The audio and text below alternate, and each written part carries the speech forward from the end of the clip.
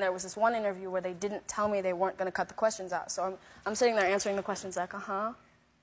And then they, they start asking me questions, and I'm like, and then everyone's like, that's so funny. And they made a whole, there was tons of compilations like, this is so funny that Billie did this facial expression. Yeah. When really it's just a bunch of tics.